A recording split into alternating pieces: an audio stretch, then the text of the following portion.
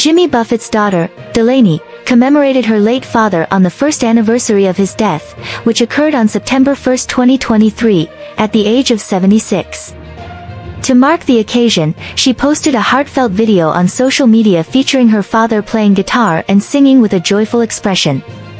In the video's caption, Delaney, 32, reflected on the recording sessions they had together, noting that the moments spent filming his lesser-known songs have become even more precious with time. She particularly highlighted one video, where they discussed his song, Death of an Unpopular Poet, as a favorite for capturing her father's vibrant spirit.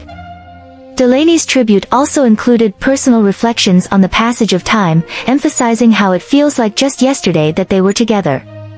She shared a poignant reminder to cherish time with loved ones and to keep meaningful voicemails, underscoring the fleeting nature of life. Buffett, renowned for his hit, Margaritaville, passed away surrounded by family and friends, as confirmed by statements on his social media and website. Along with Delaney, Buffett is survived by his wife, Jane Slagsvol, and their other two children, daughter Savannah and son Cameron.